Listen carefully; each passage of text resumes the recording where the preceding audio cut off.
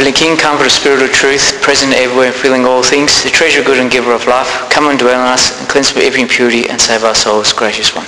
Through the prayers of our Holy Father, Lord Jesus Christ, our God, have mercy on us and save us. Amen. You may be seated.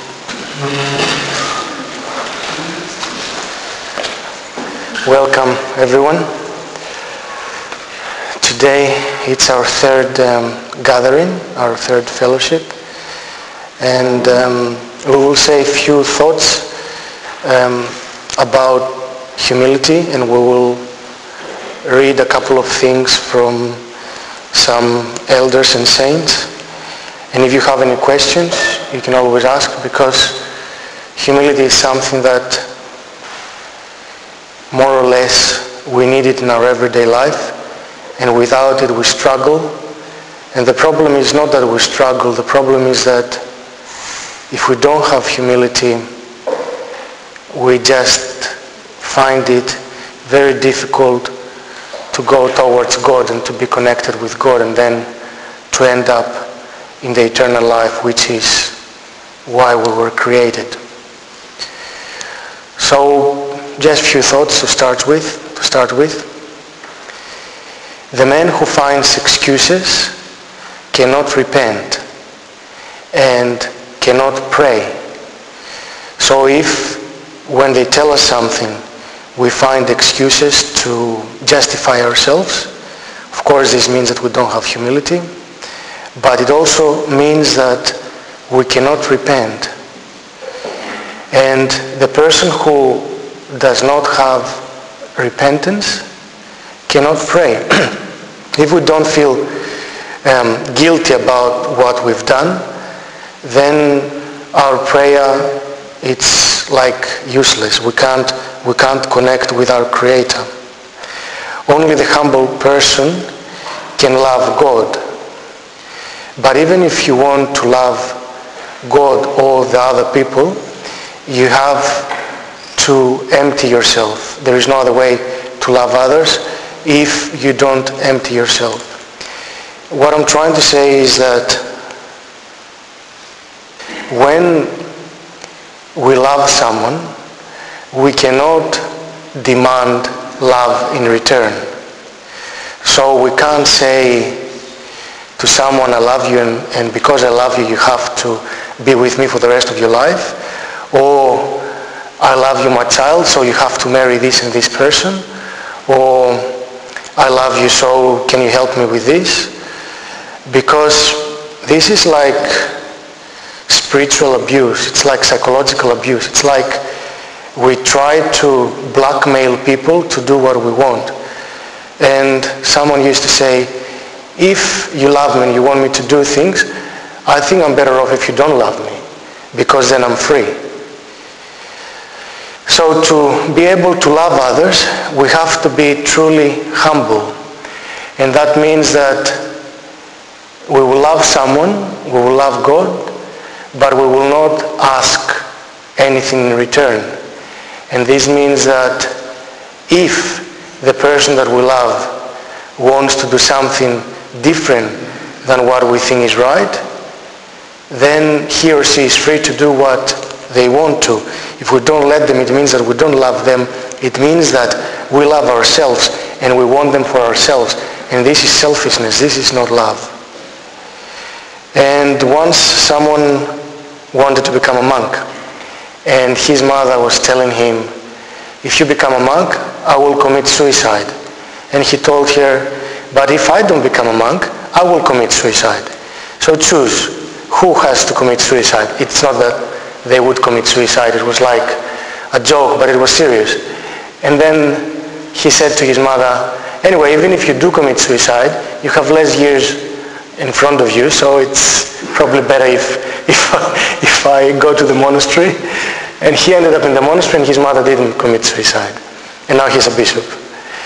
Um, anyway, that's just an example to show you that our love cannot be um, de- depressing. Our love cannot be like a bear hug because, because then it's like we don't care about the others, but we only care about expressing our love or making others respect our love. And this is not a humble thing. This is a very, very selfish thing. Also, we should look where we are to blame and not where we are to blame the others. Like if someone does something, we should look into our own mistakes and not try to blame the others. The gospel says they are blessed the ones that they um, poor in the spirit. And blessed here means it's like the highest form of joy. Blessed are the poor in the spirit, meaning the humble ones. Now, something that we all come across in our everyday life is anger. Anger is an expression of pride. And um, also if we are, if we don't have patience, and if we can't stand someone. And if we manage our anger, it means that we put others first, and it means that we, we go towards humility. And sometimes when they tell us something, it's so difficult not to answer, and it's so difficult to keep our mouth shut that there is a story um, from the monks of the desert and the story goes like this. So it was a monk and his brother told him something that insulted him and he shut his mouth and he said nothing. And after a little bit he spat blood. And they asked him, what is this blood? Where is this blood coming from? And he said, this is the um, insult that I just received and I forced myself not to talk. And this, this actually has happened in real life as well. So it's not, it's not just a story. When we try not to talk back, when we try to stay humble, sometimes is, is as difficult as spitting blood. That's how much, how much difficulty we go through to do this. Also the humble person does never despair because he never hopes in himself and he never thinks that there is something that God cannot do and he always has his hope to God and he is not lost in his sensitivity. Some people are very sensitive and they want others to understand that they're sensitive so that they will attract attention. But that's not a humble thing to do. That's something that goes around our ego. We want others to focus on us. The humble person focuses on the others and God and not on himself. And the humble person is very careful, does not tempt himself. So if you know that by going somewhere or by doing something, this will be very tempting for you. This is not a humble thing to do. This is a risk that you take and it means that you don't take your spiritual life seriously and you're not humble. And if we are risking things, then it means that we are proud. The humble person, it's easy to be governed. You don't have to pull him like a donkey that you can't get him where you want to. And it, the humble person, it's easy to live with. He doesn't have, um, and, the, and, and this, he is easy to live with, and this is not a weakness, but this is self-control. It's easy to judge others, as we said, especially to judge others that they have authority. And this could be priests, bishops, everyone around us. But as we mentioned before, we never think of our own responsibilities. And I want to explain this a little bit better.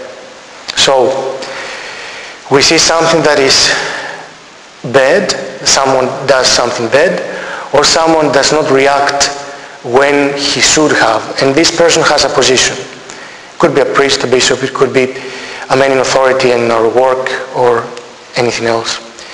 It's very easy and very tempting for us to judge this person, but we never thought that if we ourselves had prepared ourselves the right way, then God could have used us for this position.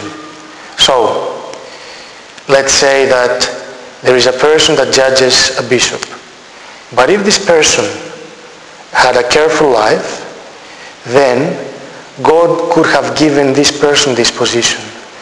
And instead of the church to have to go through this bishop that is responsible, for an example, um, the person who is judging now, if he was better and if he was close to God, God would have chosen him and things for the church would have been better. But it's easy for us to judge others instead of realizing that the reason why our authorities are such and such is because that's what we deserve. That's what the gospel says. Every authority is given from above. And if we don't take our own responsibilities to be useful to God and to others, we deserve such authorities. And we can't blame them because at the end of the day, it's our fault that God could not find someone better. If we were better, God could have chosen us and used us in the other person's position. And let's say that a woman judges a man and a woman judges a bishop or something like this. And we could say, but a woman could not be a bishop. Yes. But if this woman prepares her children the right way, then her children could, on, could not only be bishops, but they could be saints. And that's our responsibility. So instead of looking around us to find responsibilities for things that are happening in the church and outside at work, we have to look inside us and realize that if we play our role correctly, then the others are not to blame. So if we don't teach our children as they grow up to go for confession, to go for Holy Communion, to love God, and to help their fellow men, and to learn how to share, then of course we won't have good leaders in the future, and the responsibility falls on us and not on the ones that they take the leaderships. Also,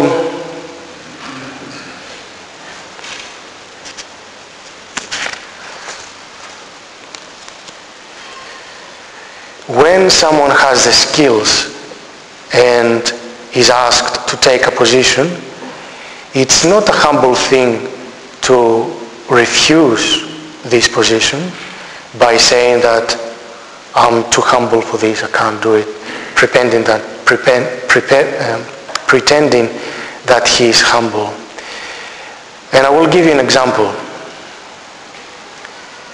We know that the mother of God, Theotokos, he was the most humble person on earth.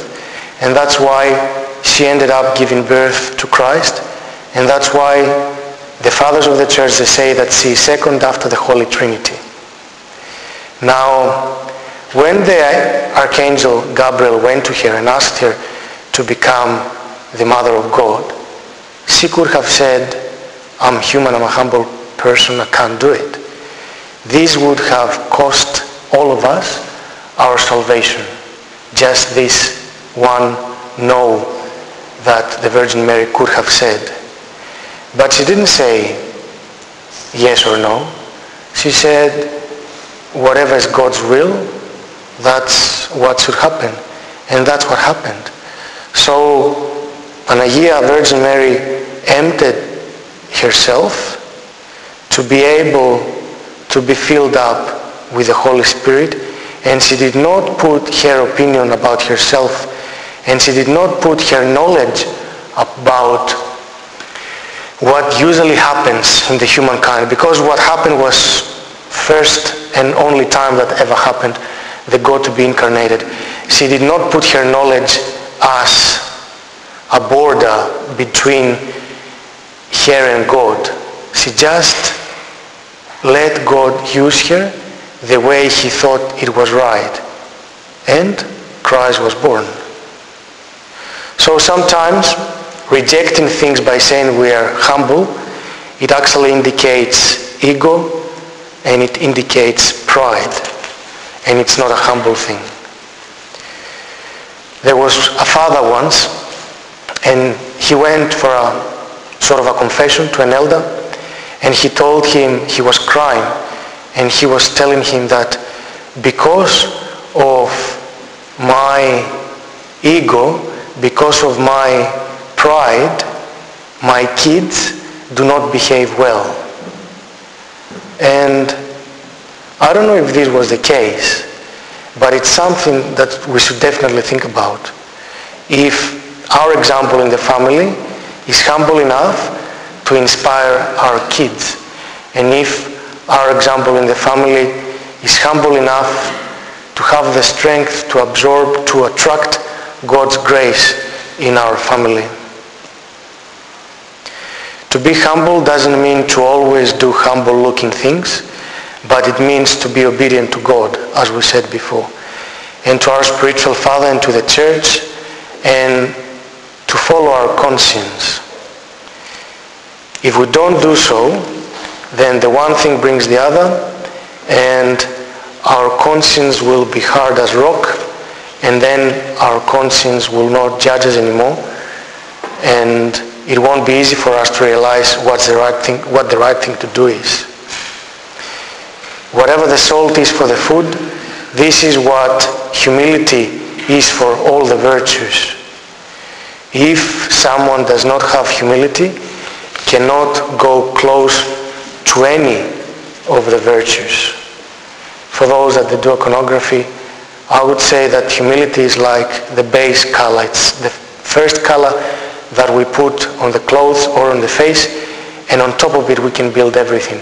If this is not done accurately, if this is not done correctly, the rest that we build on it, the foundation, if the foundation is not correct, the rest does not look as it should be and it's very difficult to fix afterwards.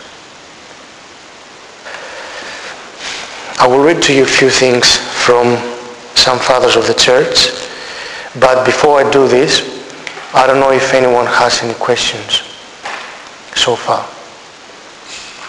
Maybe I'll read a few things and then we'll see. So someone said to St. Paisius once, Geronda, at some point Abba Isaac says that humility comes once one has acquired virtues. Could it be that you did not understand it correctly? If a person does not have humility, no virtue can come near him, said Gerondas. So in other words, said this person, Geronda, does one who has humility have all the other virtues? Well, of course. The humble person has all the spiritual fragrances, fragrances.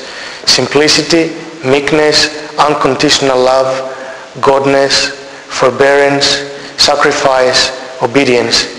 Since he has spiritually poverty, he also enjoys the fullness of spiritual wealth. He is also devout and silent. And this is why he has kingship with the most blessed Virgin Mary, the Theotokos, who had great humility.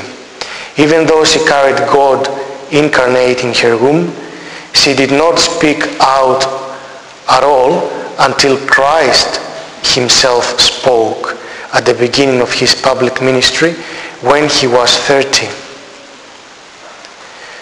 So we see here about the humility of the Mother of God, but we also see about the humility of Christ, who, although he was God, he did not try to show off anything.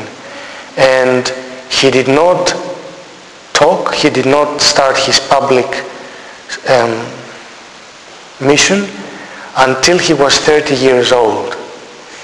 And ourselves, we're always impatient and we want things to be done yesterday.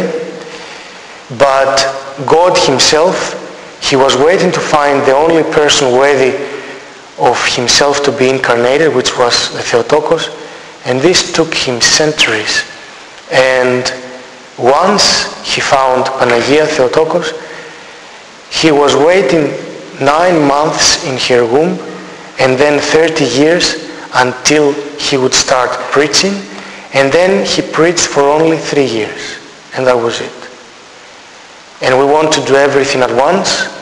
And we don't have patience for anything. And we think that this is the right thing to do. But if we don't understand that patience and humility is above rushing and doing things the right way, the way we think is right, then whatever we will do, it won't have great results. So I'll read to you something else. To know God is to be humble as he is humble. The Lord himself calls us to follow him. Take my yoke upon you and learn of me that I am meek and lowly in heart, and you will find rest in your souls. If we are to know the mysteries of the Son of God, we must have the meek and humble heart of the Lord Jesus. Unless we become meek and humble, we shall remain unknown by him and alienated from his divine mysteries. The perpetual concern of the saints is to abide before Christ in humility of heart. They have learned that only the humble in heart can receive the gifts of the Holy Spirit. They have understood the twofold movement of our Lord, downwards in his kenosis, meaning to empty himself, and then upwards. They strive to abase themselves as their strength allows, to submit themselves to every obedience of men for the Lord's sake, knowing that he will exalt them in due time. And of course, we can try to be humble, but the real humility, we could say that it's a gift from God. Like when St. Silouan experienced Jesus, he felt in his heart the humility of God, of Jesus. And that's when you can understand that it doesn't matter what happens. It doesn't matter what they do to you. It doesn't matter if you're healthy or not. It, nothing, nothing really matters. What really matters is to stay in this humble state expecting God. And when you are in this humble state expecting God and, and living for Him and Him alone, then He will definitely come and then, and then what you will experience from this life will be undescribable. And someone asked once, St. Paisios, how long do we need to get God's grace? Some people, they might live all their life spiritually, thinking that they live spiritually, and they will do a lot of ascesis, a lot of strict life, and they might think that they do something, that they ask someone's, but they might never receive God's grace. And some others, they might receive God's grace straight away if they are humble. If the man becomes humble, within a minute can be dressed up with the divine grace and become an angel and enter heaven. But if he becomes proud, within a second, he could lose everything. That's what happened to the devil who was an angel and within an instant he lost everything and he became the devil. So if the man wants to, he, be, he can become a sheep. But if he doesn't want to, he becomes a goat. And that's up to us. So the grace goes to the humble person. And that's where the Spirit of God rests. And we said in our previous fellowship something that we have to mention again because it's extremely important. So when we realize that the benefit of the ones that we love, it's not keeping them close to us, we should let them follow their paths. And this has to do with the spiritual fathers. As we said, St. John the Forerunner, once he realized that Christ was the one, he sent all his apostles, all his disciples, St. John the Forerunner, gave all his disciples to Christ. And they were his first apostles. It's the same with our children. We can't keep our children for ourselves. We have to give them to God one way or another. It doesn't matter if they will create a family. It doesn't matter if they will become monks or nuns. It doesn't matter if they will become priests or if they will go for a mission. It doesn't matter. What really matters is that we have to give our children to God. God gave us our children. We're responsible for their upbringing, but it doesn't mean that we owe them. And that's why we can't stop them from following Christ. And that's why we should give them the tools to follow Christ. Because if we don't teach them how to follow Christ, it's our fault if when they become adults, they go and they get married in a park without wanting to do anything with the church. And they don't get married to Christian people. And, and after that, that was it. Your grandchildren, they will have nothing to do with the church, not wanting anything to do with God. And that's the end of the story for the Christianity in your families. Do you have any questions so far?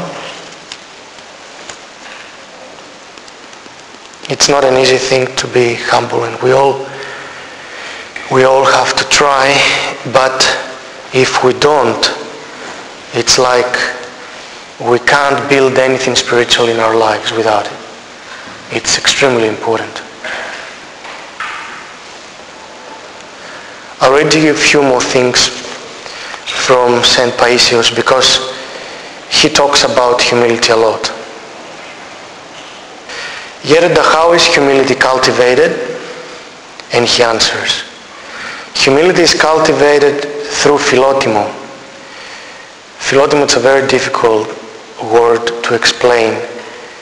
Anybody can enlighten us as to what philotimo is? Because it's very difficult to explain it. Yes? Yeah.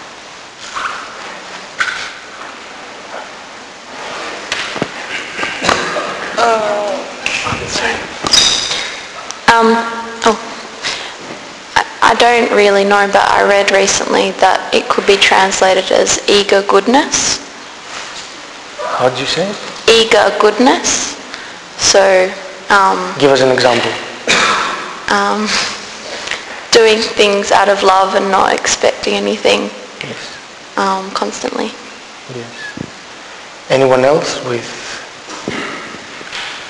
something different? Wait. Wait. And we have uh, also. Well, the, the word itself translates into a friend of honour. So it's to maybe do the honourable thing without, without expectation of anything after. Yes, but Philotimo, see, the honor sometimes hides some pride. When the Philotimo doesn't, it, it, the Philotimo is something deep that, that you do it out of love.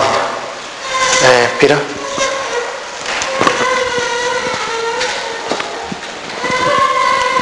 Is it um, someone that loves doing what the other people have said? He's actually, he's a lover of doing um, things out of love, not expecting something in return. It is. Um, anyway, all these things and even more than that, the English language doesn't have a word for philotimo. Um, and although the, etymologically it means philos of timi, um, friend of honor, that's not what it means. It, it means to be motivated to do something out of goodness, out, out of wanting to make someone happy, out of wanting to help others, to get out of your, um, out of your way to help someone. So St. Paisios said, humility is cultivated through philotimo, and it is also cultivated through the manure of our failures. failures. It all depends.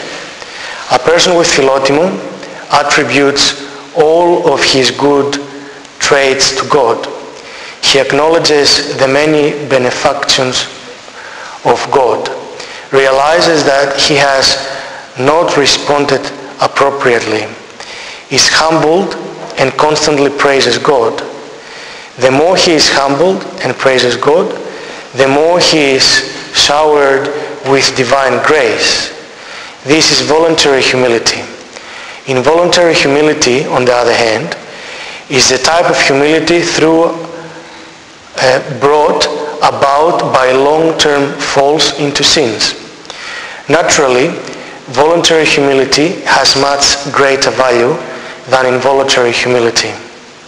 It resembles a field with good soil, wherein the trees bear fruit without need of fertilizers or manure, and their fruit is delicious.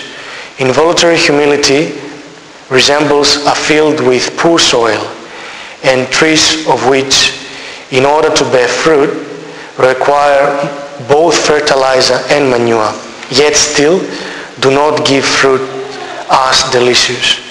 So what St. Paisios tries to tell us is that it's worth ourselves to try and humble ourselves to help others in, in every aspect of our lives because if not, God allows the proud people to fall. And we'll probably talk about it later on again, but the reason of our falls a lot of times is our pride. And we don't know why we fell.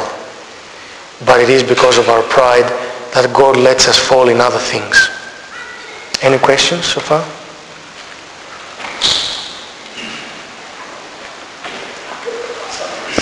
So are you saying that involuntary humility is not good? But yet if someone, if someone falls because of pride and probably realizes it, like can he or can she um, grow in humility from there? Can he? Can she grow like in humility from there? Like Yes, we can use our falls to um, gain humility. We can use everything. It's like even your sins, you can use them to get humility and, and experience and move on and become a better person. But why do you need to fall when by humbling yourself you don't need to fall and you will get way further? Does it make any sense? We can fall and, be, and become humble, but we don't need to fall. If we humble ourselves, we don't need to fall. And we will become more spiritual by, by when we fall and we become humble. Like um, there are saints that they did things that they were not right. So by falling, then they realized that what they did was wrong and they humbled themselves and they became even greater saints. But you don't need to go through all this pain. By humbling yourself, yourself, with your own will, you can become great like the Virgin Mary did without falling into anything. Does this make any sense? But you can use both. But why going through the pain of falling when you can become great without all this pain? By humbling yourself. So it's not. Um, so- it's not necessarily a bad thing even if you had to fall. No, it's not something. because we, in our church we have forgiveness. You're forgiven as soon as you repent. But but why do you have to fall when you don't have to? And then it's easier. Does it make any sense? Any any yeah?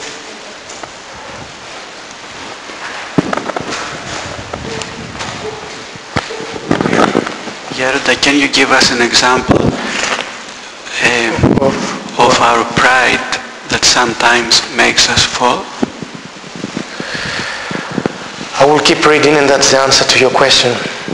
Um, so someone said to Elder St. Paisios, Yet I'm in a very difficult position. I have carnal thoughts and plunge into sorrow. I am worried that I will never recover. Have courage, my good child, and Christ will prevail in the end. In essence, it is not so much the fault of our poor flesh as it, are, as it is our pride. As a matter of fact, you have many skills which God has naturally given you, but because you are somewhat negligent and careless, the enemy finds the opportunity to ex- exploit your abilities and sends you reeling in pride. And while you could have washed your face with tears of gladness and gratitude towards God, instead you wash it with bitter tears of pain and worry. So think. If we do not become humble voluntarily, we will be humbled involuntarily because the good God loves us. Take courage, therefore, my child, and Christ will prevail. It is a storm that will pass and bring many good things in its wake. You will come to know yourself better. You will be obliged to become humble and according to the spiritual laws, the grace of God which was previously obstructed by pride will now be obliged to come to you. So someone falls into carnal sins or carnal thoughts and this is the example and this is because of pride and this is because someone does not take care of his spiritual life. I don't know if this answers the question.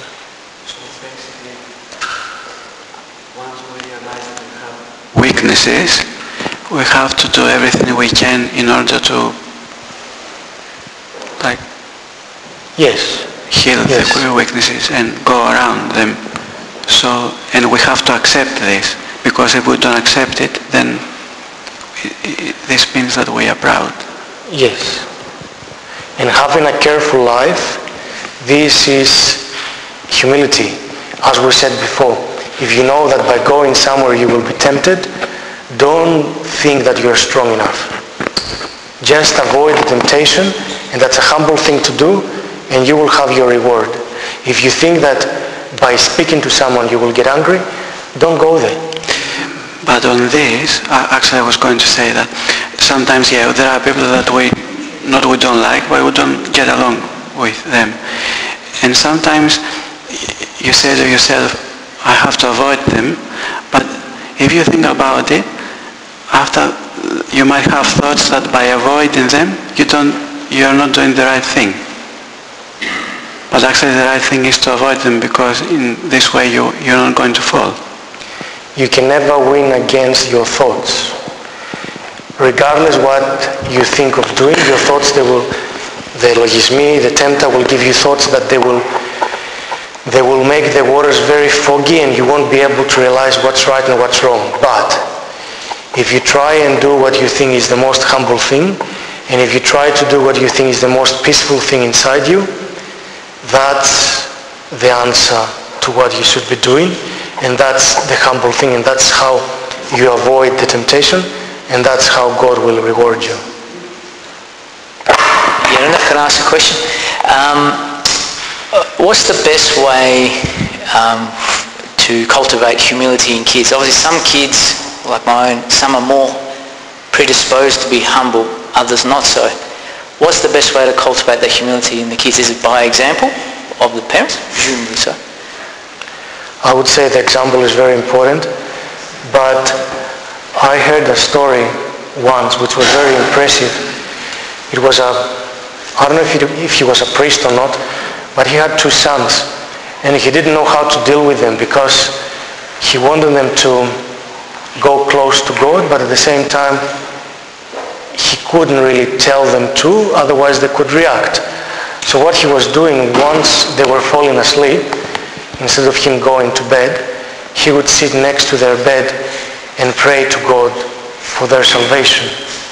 And then God help these kids.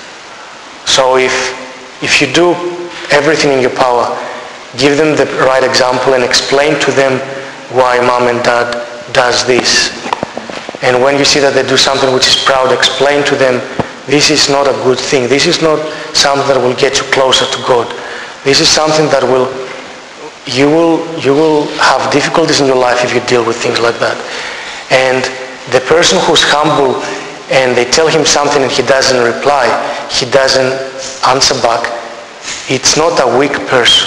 They have to understand that. When Jesus was not replying to whatever they were accusing him, it's not because he was weak. It's because he knew what he was doing. But that's also a humble thing to do. And if you give them the right example, if you give them, um, if you keep them close to confession, which is a humbling thing, and Holy Communion, which is receiving the King of all, then your kids, they will pick it up. And you will be impressed. Because kids have a lot of love, if you motivate their love, they can understand that it's a good thing to be humble. But every character, every kid has a different character. We know that. And we have to work a little bit differently with every kid. But, but these are the general things that they should be working for everyone.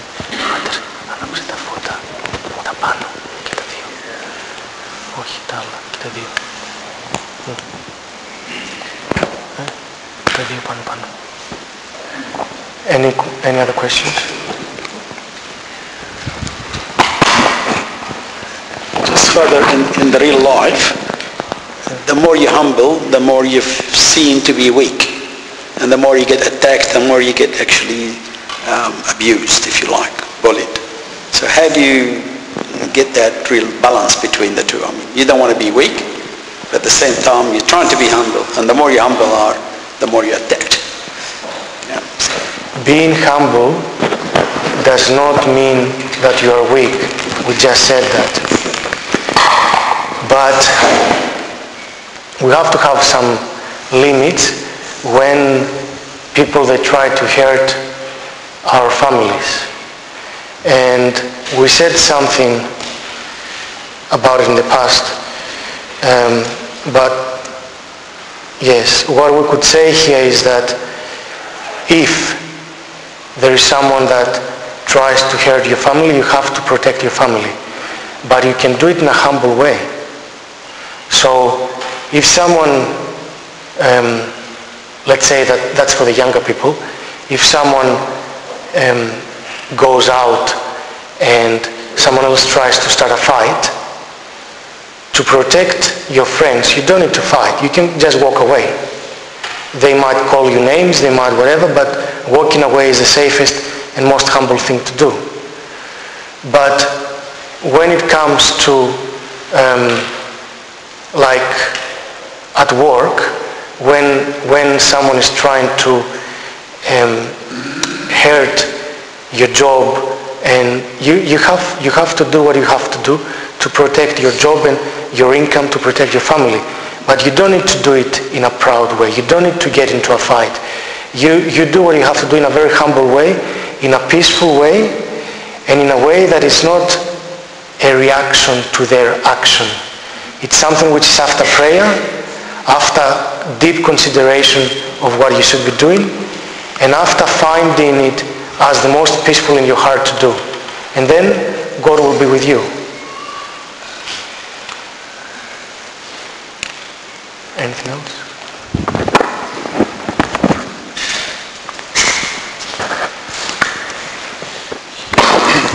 Yeah, and uh, if we'd said that we wanted to acquire humility, what practical sort of steps would you take or would you suggest that we take to acquire humility?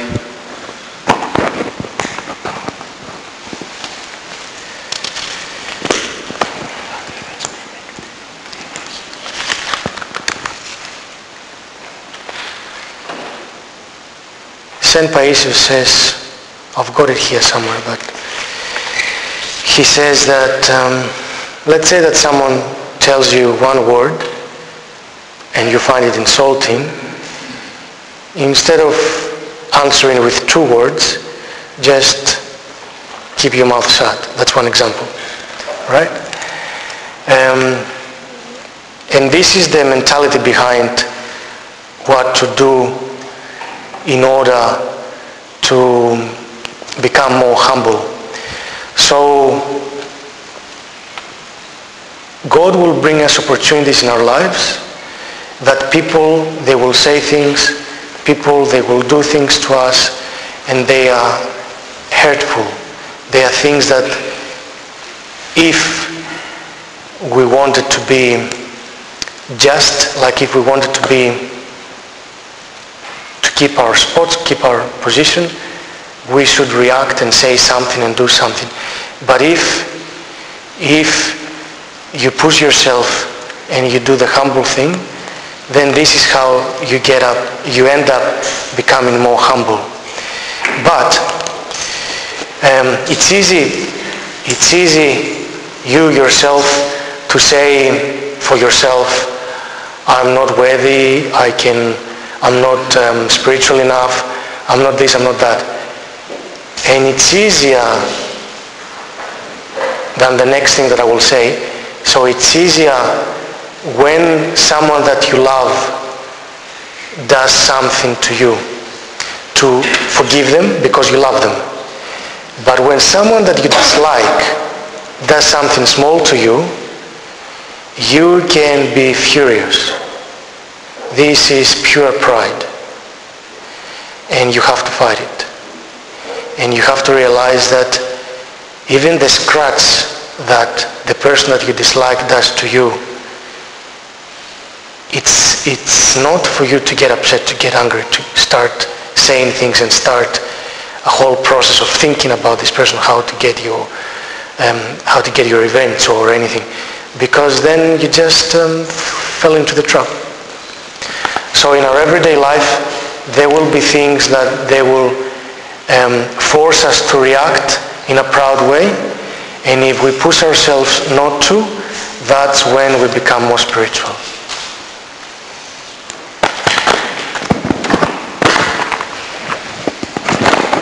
Rhoda, but someone might say, someone who hasn't experienced the grace of God and the fruits of the humility, that uh, being humble actually is quite depressing.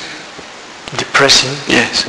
Or someone might say, but okay, we know that we have to be uh, good people, good Christians, but if you think about it, are Christians always the ones that they have to be at the bottom and the others have to step on them?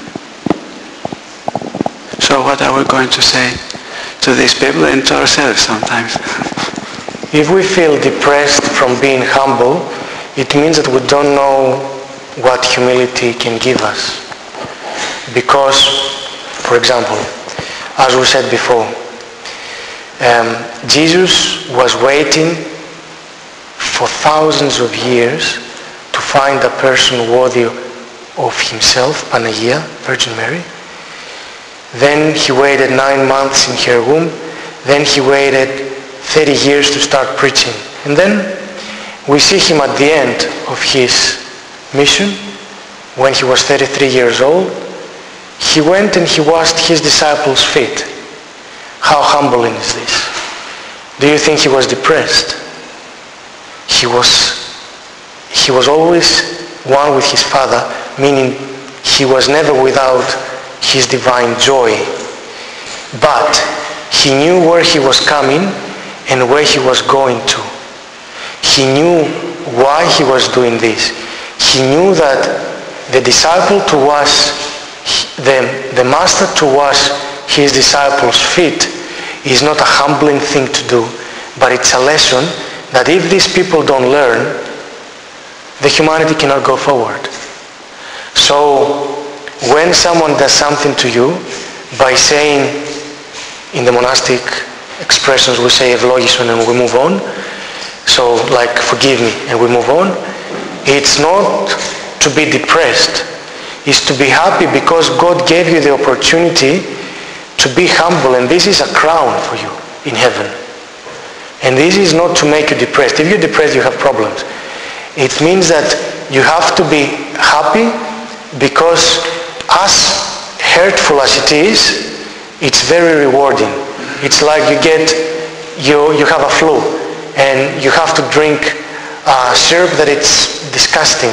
But if you don't, you will be worse. When if you do, you have to be happy that you go through this disgusting experience because you will be better.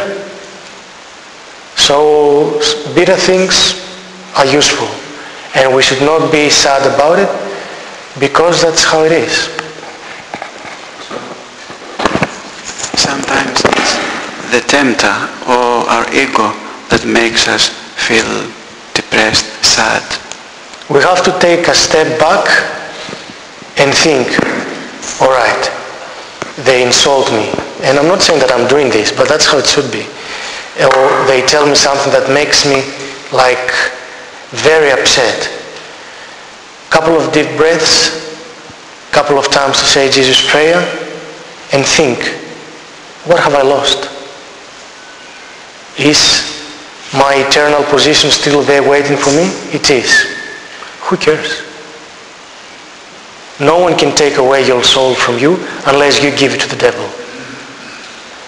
And when you fall into these traps, you give your soul to the devil.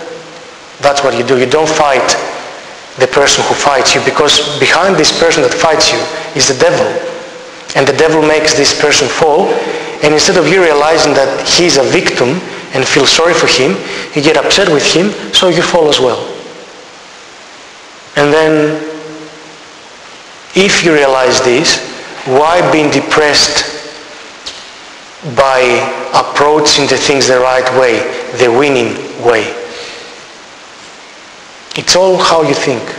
It's all the way you deal with things. yeah. And when we think that um, I have to say something because otherwise the other person is not going to learn, what do we do? If it's your position to teach, say something. But if it's not your position to teach, then pray for the other person. And if the other person is capable of learning, God will teach him. If the other person is not capable of learning, if you try to teach him, you will just create a worse reaction to your reaction because he had the action, you have a reaction, and then there is a second reaction which will be even worse, and it ends nowhere. It just gets it gets very very messy. It doesn't stop, and then you lose your peace.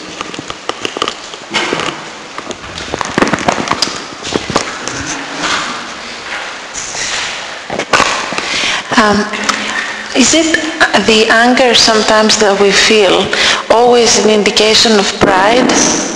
When we see something, for example, and we feel strongly about it, and we may feel angry about it at some stage, is it always pride because we are proud? Um, St. Paisios says that anger is an indication of pride.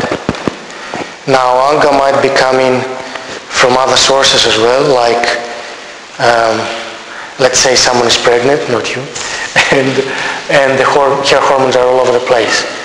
That's a natural reason.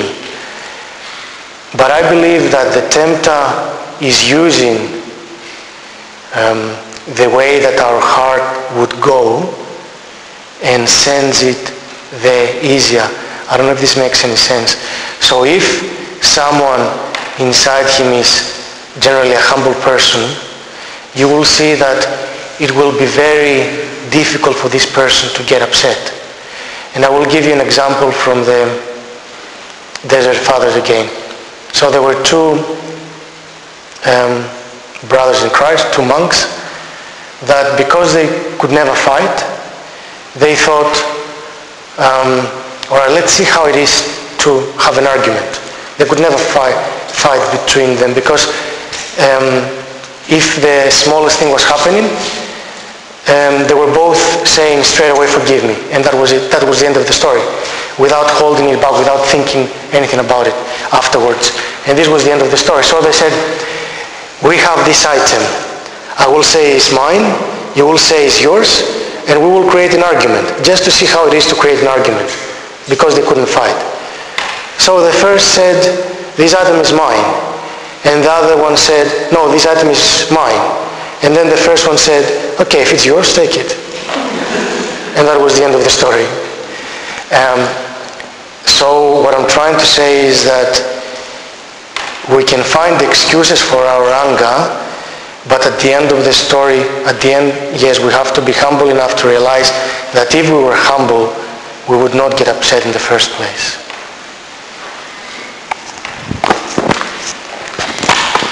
So I guess what I'm trying to ask is when we see something around us happening that we don't agree with, that we think is wrong, um, we may get upset about it.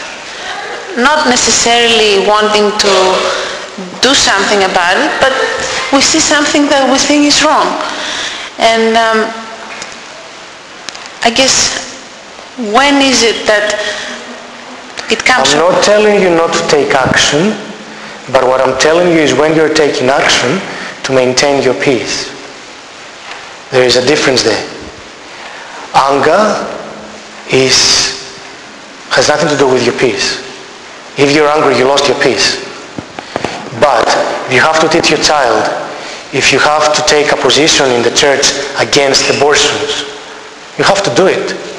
But you do it without losing your peace and knowing that you do your very, very best, but God is above everything. If he wants this law not to get through, it won't get through. If he allows this law to get through, if God allows it, who are we to, to do anything? Because we tried already, we can't do anything. Does this answer your question?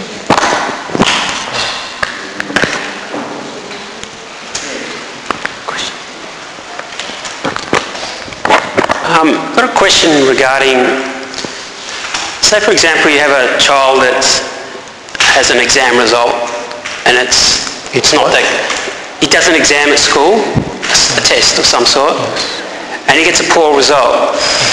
Now he's humbled because he got a very bad result. Now he goes home and his parents, they're expecting something brilliant and they tell him off. But you're telling him off for being, for being humbled because for some reason he didn't do well. So as a child, how do you deal with it? That was my experience. Now on the other side, As a parent. as a parent, I'm thinking, well, how do I deal with it? Because I want the best for my child. Yes.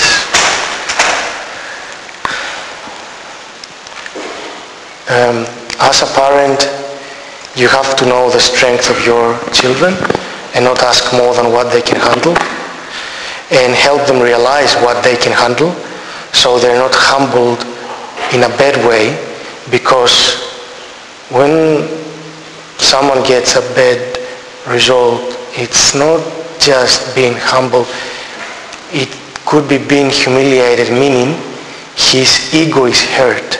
That's not humility. That's something that um, hurt you, hurt your ego. When the ego reacts, this is not humility. All right?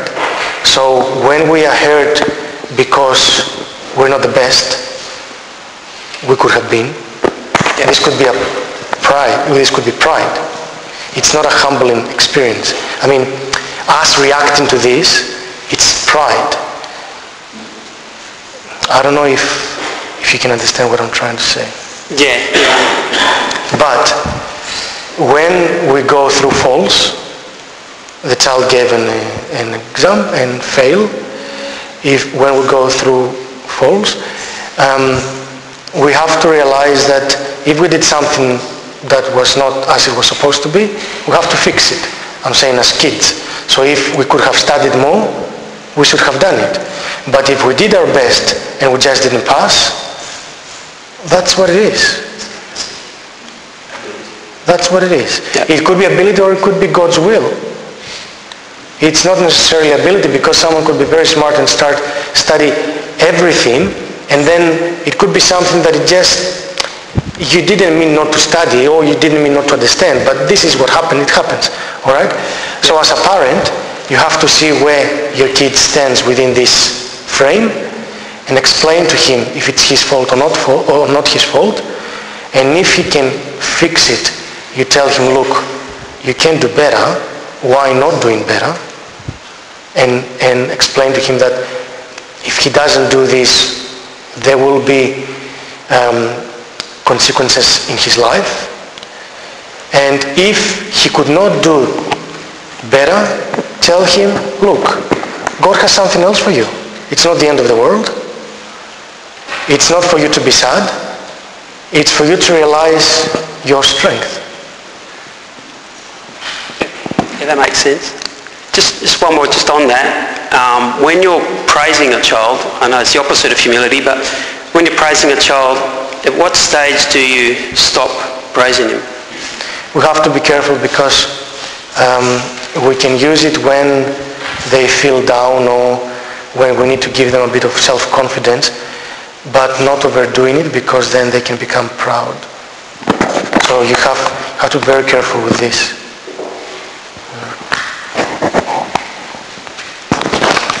Going back, um,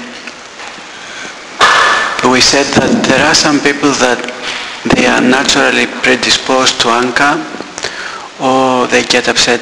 They are naturally what? Predisposed, like they have... To what? To anger. Okay. Or other people, they are predisposed to other, like to humility. But now, because we're talking about anger, but does this mean that God discriminates? What do you mean? Because someone might think that, okay, might say for himself, I get angry easily, so um, that's why, uh, or I grew up in a family that they were all angry, fighting, so I have um, um, the excuse. I have an excuse about it. And but if we if we accept this, this means that God discriminates, and to some someone gives them um, the ability to be humble and to other people gives them the ability to be angry all the time. That's the same with everything. Someone might be good in basketball and someone might be terrible. But having gifts does not mean that God did not give you the right tools. These are tools. Now, what matters is your personal effort. We talk about humility personal effort towards humility and towards not being upset with others and, and, and all these things. If someone can naturally do it, this person, his reward, will not be as great as yours if you are um, a person that gets angry easily. And um, if um, you have the gift of not getting angry easily, you will struggle in other things. So it's, it's one thing or another that we have to correct in ourselves.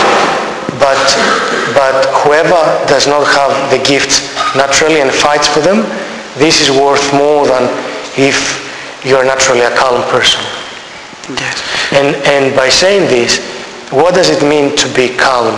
Calm doesn't mean the person who does not talk about what he's upset because the person who talks about what he's upset can maybe after forget about it and that's it. But there might be people that they will tell you nothing and hold it for the rest of their lives. This is way worse than um, the people that they express it and you know that what you see is what you get. When the others, they will hold it and then they will find you on a weak point and shoot you or tell you a hurtful comment or never forgive you. So regardless our difficulties, weaknesses or predispositions uh, or maybe our health, so many things that they can make us uh, get angry. Um, this means that it depends on us if we are to control our anger or not. Yes, because if we want to control it, God will, will give us the way to. And I told you this before, there was someone who's still alive, and he was a person that he would get upset very easily. And he realized that this was a very big problem because he wanted to follow Christ in his life. So one night, he prayed to the best of his ability, and by the morning, he had no anger at all. God had taken it away, which was a miracle, and miracles happen when God wants. But what I'm trying to say is that um, if it's for our benefit, God will help us towards this direction. If we're not humble enough, then we won't get the help that we want, we ask.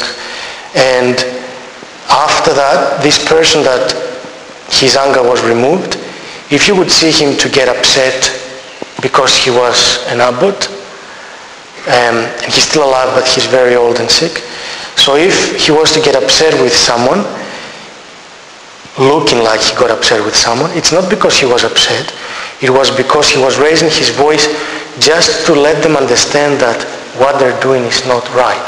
The same way that sometimes we have to be very firm with our kids, not losing our peace, not being upset with them, but just to teach them that, look, what you're doing is wrong. From the beginning to the end, it's wrong. And that's it.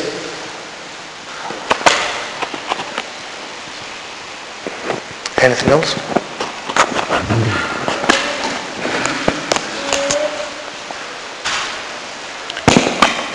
The, the person realizes mentally that he doesn't have humbleness at all. Doesn't have humility. Yes. What's next step? To ask for some. Sorry? To ask for some. but St. Paisios says, as we said before, that humility, you don't go to the supermarket and buy some. Humility, if you ask for it, it will come to you in the least expected way. And it will hit you on the head, and you wish that you never asked for it. So, I'll give you an example from his life. When he was a monk at the monastery of Stomio in Epiro, um, he was going in the holy altar in this church where there was this priest. Uh, because he was a monk, he was sitting in the holy altar and he was having communion, holy communion inside the holy altar. And this one Sunday, the priest, before he went to the church, St. Paisios asked God to make him humble or something like this. So when the time of the Holy Communion came, um, the priest told him, go outside to have Holy Communion. You're not worthy to have Holy Communion inside. And St. Paisios, instead of getting upset or anything, he went outside, he read the communion prayers, and he had Holy Communion thinking to himself that he was not worthy of anything else. And then the joy that he received from this Holy Communion was unbelievable. Now, what happened was that straight after, the priest, who was a very pious priest, went running to him, fell onto his feet, trying to apologize because he could not understand why he did what he did. And St. Paisios explained to him, it was not you. It was me that I prayed for humility. And God allowed his grace to be withdrawn from you only for me to receive a lesson. But the priest couldn't understand it. But this is what happened. So if you ask for humility, it will come to you, could come through your family, it could come through your friends, through your work, through your own thoughts, through your own difficulties. and be very gentle with how much you ask because if you receive as much as you ask, you might not be able to handle it. And if the person realizes that he's humble, is that already a temptation, a sin? Uh, haven't heard any humble person saying that I'm humble, but yes. Um, to realize to realize that you're humble, it takes a lot. You have to be one with God before you say that, and and the gospel this morning was saying something that is placed in my mind all these days. The gospel this morning said that the disciples, the apostles, they couldn't perform a miracle. And Jesus told them, if you have faith as a mustard seed, you will tell to this mountain, go from here there, and the mountain will move. So they asked St. Paisios again once, what does this mean? And he said, it's not that people don't have faith as big as a mustard seed. They have that much faith, but they're not humble enough. So, if with this faith they were to perform miracles, they would be so proud that they would lose their salvation. And that's why these miracles don't happen, because we don't have the humility. So we don't have, as we said, the foundation for the miracles to happen in our lives.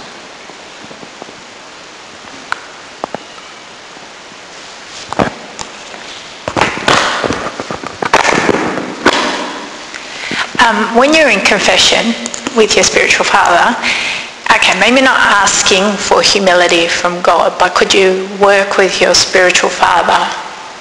Is that the same thing? Like to ask them, um, say if you didn't know, um, like you're angry all the time, but you didn't understand that that's because you're being prideful or whatever, how do you, um, could you work through your spiritual father to try and um, grow, if that makes sense? Like, Of course you can. like do you, yeah, and say for instance if you have children, and do you believe that um, sometimes you get yourself, like you see a mirror of yourself of what your children's behaviour is and everything like that, and you want better for them.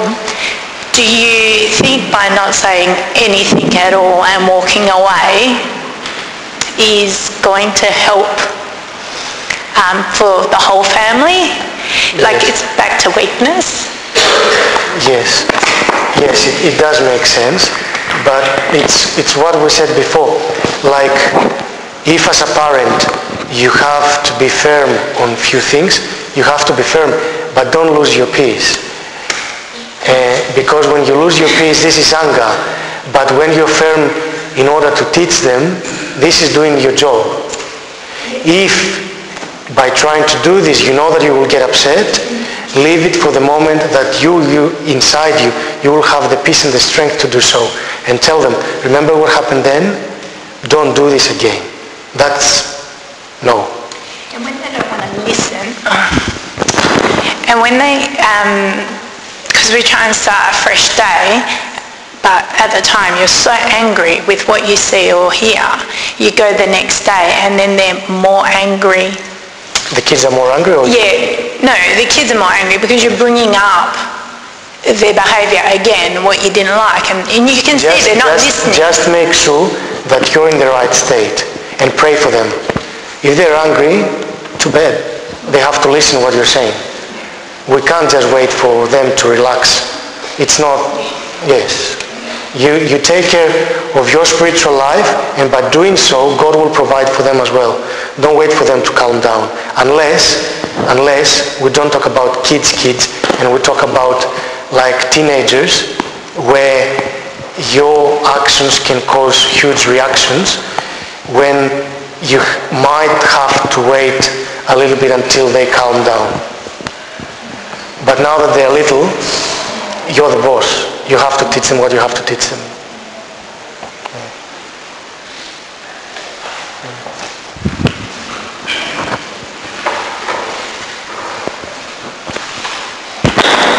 There's a phrase that sends me into panic a little bit, and I only know it in Greek, so I'll say it in Greek.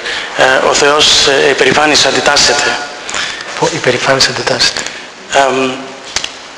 What are the what are the steps to, to take out some of these thorns that we have, or I have?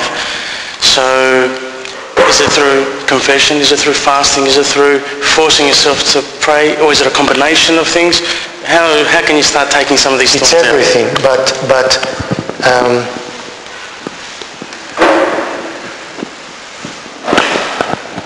the fathers of the church, they talk about epignomoniki tapinosi.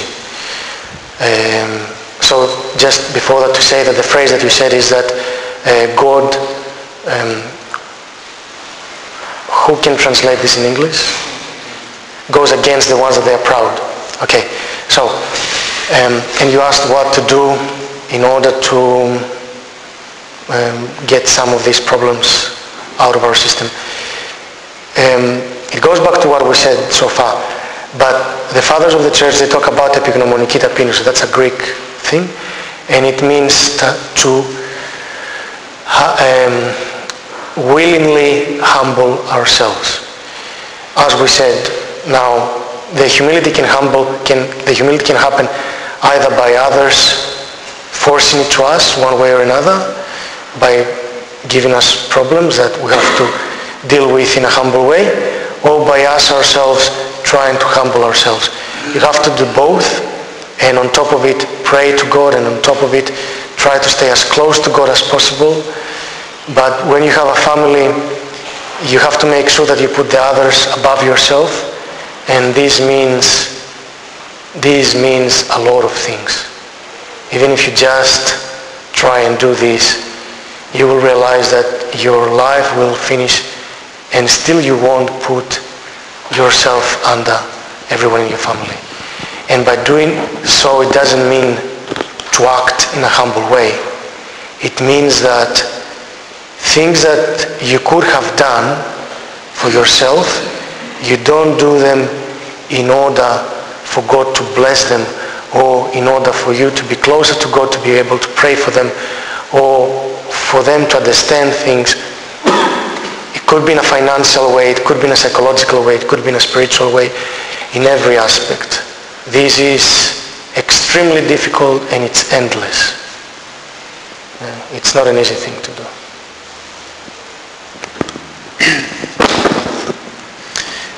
Just on um, what Dimi was saying, it just brought to mind a, a story that I'd heard in St. Silouan's biography.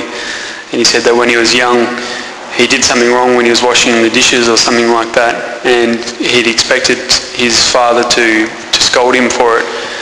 And anyway, six months passed and his father had never said anything. And one night his father took him aside and said, did you remember that night six months ago when you did that thing wrong? I forget exactly what it was. And he scolded him for it then. And St. Silouan as a boy, he asked his father, well, why didn't you, why, why, why is it taking you six months to tell me, you know, to scold me? And his answer was that he was waiting for the right time. And he used to pray after that when he became a monk for the patience and humility of his father, who waited six months for the right time to, to you know, give his son his lesson. But see, we could say that Saint Silouan is who he is because of his father. There are kids that they need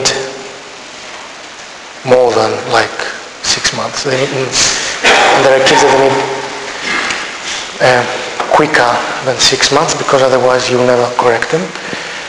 But the meaning behind what you said is that the father did not react. He acted when the time was right, with wisdom, patience, and humility. So what he did was not a reaction, was a proper action. And then that's why St. Silouan could never forget this. Yeah. Anything else?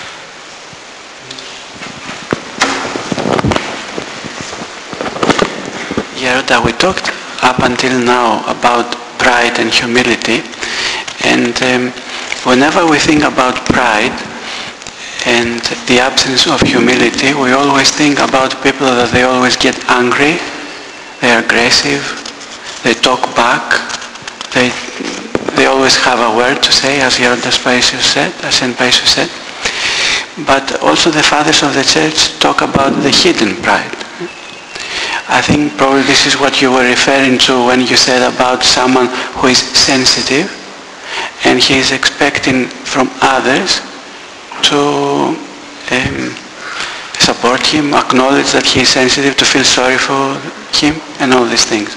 First of all, does being sensitive always mean that we have hidden pride? And also, from wherever this sensitivity might come from, how are we to overcome such sensitivities? How are we what? To overcome such sensitivities, to get rid of sensitivities that they hold us back in our spiritual life. Say this again about the sensitivity. Eh, How are we? For, even if these sensitivities are not coming from pride, how are we to overcome, to get rid of these sensitivities in order not to hold us back in our spiritual life and in our relationships with the others? Yes. Sometimes the sensitivities they are because we want to draw attention and this could be maybe because no one loved us as a kid. But um, we have to realize what our life was like.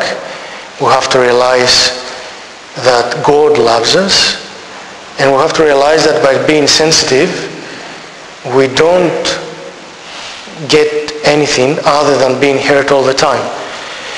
So the same way that we repent, and repentance means to change our mind, um, the same way whatever weaknesses we have, we have to face them. And you do some, something, does something to you, and you might be sad for a week. And I might tell you, grow up. Now, by telling you grow up, it doesn't mean anything to you if you don't realize that, as we said before, it's not a big deal what happened to you. And, and to realize that what really matters, as we said before, is the kingdom of God. Once you put the right aim in front of you, which should not be the others paying attention to you, but you going towards God, then the sensitivities, one way or another, they will just start disappearing. You, you have to find the right way of thinking. And we were reading this with the Brotherhood a couple of nights ago. Um, so someone goes to a spiritual father and he says that um, I have cancer and I will die. Or he says to him, I was in a monastery and they kicked me out. Or that I sinned in the worst way and he was troubled so much that he couldn't, he couldn't relax. And he sits down, he talks with the elder, and then he starts crying and saying, I don't have any problems anymore. And the elder says, why? You still have a cancer, you will die, they kicked you out of the monastery, you have nowhere to go, you did a huge sin, so nothing changed. But what changed is that this person realizes that his contact with God, his communication with God cannot be influenced from all these huge things. And once you get this in your mind, once you, once you establish this in your way of thinking, then what sensitivity? Nothing can touch you. Anything else?